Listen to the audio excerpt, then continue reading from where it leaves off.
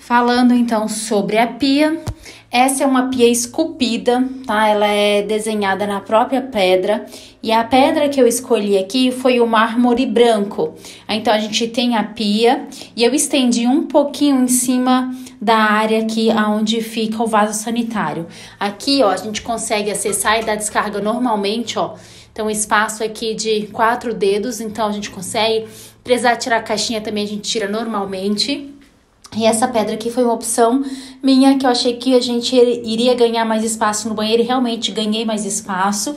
Ali embaixo já pedi também para colocar uma pedra da mesma aqui da pia e eu adorei, gente. Muitas meninas perguntam: dá trabalho, suja muito? Aqui a gente usa só para lavar a mão, não escova os dentes nem nada, então ela não suja tanto. E eu adoro, gente. Eu achei que ficou muito legal aqui no meu banheiro essa pia.